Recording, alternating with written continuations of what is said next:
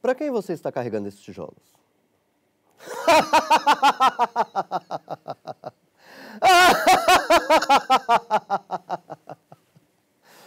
Para Deus! é sério isso? Para Deus. Escuta aqui. Eu vou te falar umas coisinhas sobre Deus. Deus gosta de observar. Ele é um gozador. Pense. Ele dá instintos ao homem. Ele lhe dá esse extraordinário dom. E o que ele faz depois?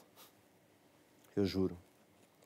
Para sua diversão, para sua comédia cósmica particular, ele cria regras contrárias. É a maior piada de todas. Olhe, mas não toque. Toque, mas não prove.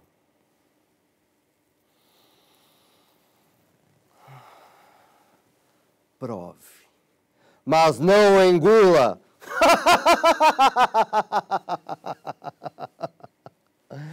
Enquanto você está aí pulando de um lado para o outro, Deus está se mijando de tanto rir. Ele é um sádico, um sacana. É um patrãozinho ausente. Adorar? Isso? Nunca.